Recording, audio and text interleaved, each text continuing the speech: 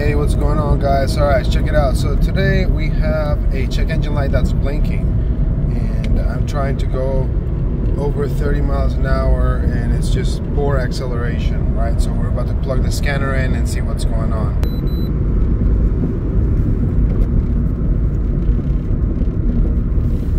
Twelve codes: 301, 420, 304, 300.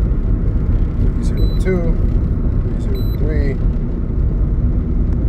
420, 301, 302, 303, 304. So it's basically misfiring on all cylinders and it's got the catalytic converter code on. So let's check it out. So if it has poor acceleration, uh, remember you gotta be very careful. Try to turn your vehicle off, all right, all the way, and then turn it back on okay see if that works. Check engine light stop blinking. And now I can go past. I can accelerate. So that's pretty weird all right that's how you temporarily fix that problem. Try to reset the computer and check it out. I'm gonna tell you what a, a check engine light blinking means